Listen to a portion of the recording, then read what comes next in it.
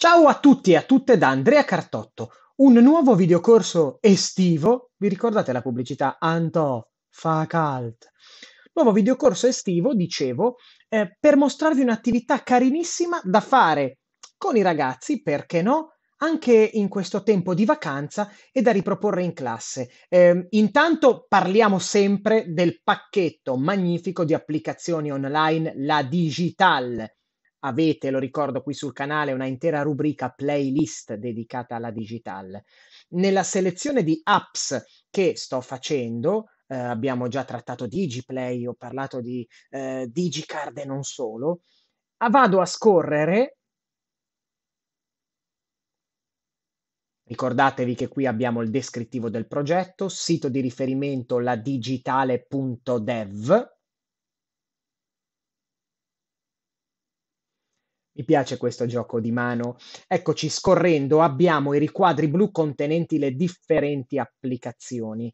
Questa volta ho scelto un'app che c'entra anche con il tema della sicurezza in rete perché vediamo con la digital come creare o far creare un avatar digitale del nostro volto.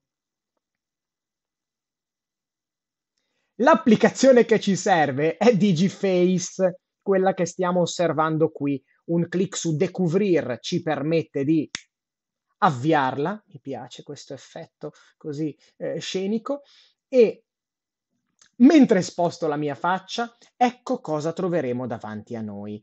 Eh, per avere la lingua italiana abbiamo un ingranaggio in alto a destra, lo clicchiamo, vedete, lingua francese, italiana e inglese.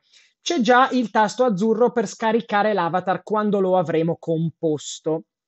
In realtà, vi dicevo, l'avatar, oltre ad avere anche una valenza ehm, emozionale per delle unità di apprendimento da fare con i ragazzi, no? lavorare sulla percezione eh, di se stessi e degli altri, è utilissimo perché così si abituano a non mettere il loro volto come fotoprofilo dei principali servizi ed account di cui si servono.